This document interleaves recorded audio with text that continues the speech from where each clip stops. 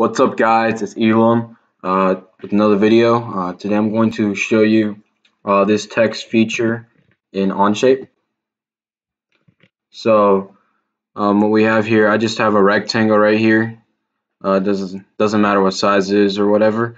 I'm just going to show you this thing. Uh, you can actually write uh, characters in Onshape and it's a pretty cool feature. Let's say if you wanted to make a paperweight or you wanted to put numbers on a model or something so like like I said in my some of my other videos, like the sky's the limit. Your imagination is the limit to where you go with this. So I'm just gonna walk you through how you do this. So you click on your uh, rectangle, like whatever side you want it to the text to be on. You hit sketch, and then it gives you a bunch of these sketch options.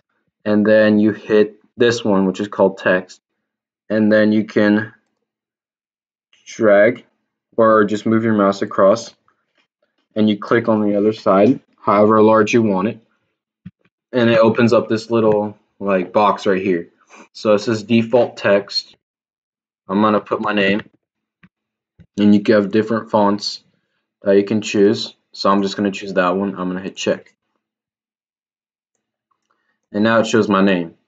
So the reason it's giving me all these errors is because I have I drew this text box as a rectangle and then there it is like um over defining it because in order for my name to be like this the um, it has to be this size and it can't be the same size as the rectangle. So um, this is actually a good example of how to fix these problems when it shows all red. So if I hover over here it shows that this line is parallel to the text box. So if I click this let me hit escape real quick. And then Let's see. Okay, let's try this. Delete sketch entity, right? Now it works, okay? So you sometimes have to delete some of them, but you have to be careful which ones you delete because sometimes they can really mess up your, your text. So here's my name, and if I want to, I can move this around, I think. Let's see. Yep, I can move it around.